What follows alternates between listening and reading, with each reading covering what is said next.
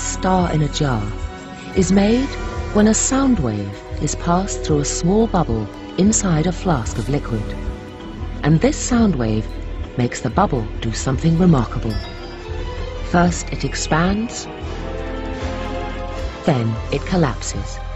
And this collapse happens so violently that vapor molecules trapped inside the bubble slam together and heat up so much that the bubble gives off an incredible burst of heat and light, several thousand times a second, giving the appearance of a star.